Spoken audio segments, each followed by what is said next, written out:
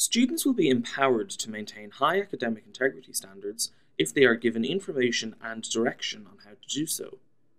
This should be consistent across a program so that the message is reinforced for students. Academic integrity needs to be made accessible to students. They need to know practical information about it and practical steps they should take to avoid breaches of it. Let's look at how you might do this by taking DCU's virtual learning environment Loop as an example. It's a good idea to add your academic integrity information and direction to your Loop course page next to where your standards are stated. Click Turn Editing on, then click Add an activity or resource, and select Label.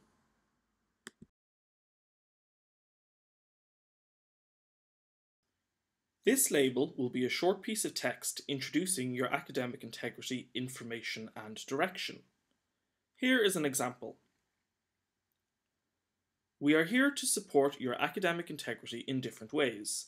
These include formative assessment to help guide and develop your work, the text matching tool Urkund, university-wide workshops and resources to help you learn and improve your academic writing, referencing and citing skills, module-specific supports and resources embedded in the module teaching, learning and assessment strategy.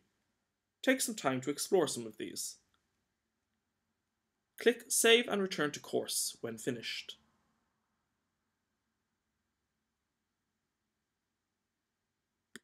I now want to add some links to these supports and resources that will help students avoid breaches of academic integrity. On your Loop course page, click Add an activity or resource and select URL. Enter a name for your link. In this case, I want to link to the DCU Writing Centre. Also enter the URL itself. Click Save and return to course when finished.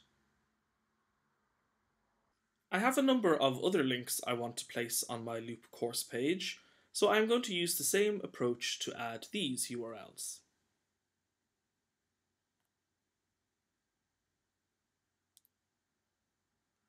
Now there is practical information and direction about avoiding breaches of academic integrity available to students on my Loop course page.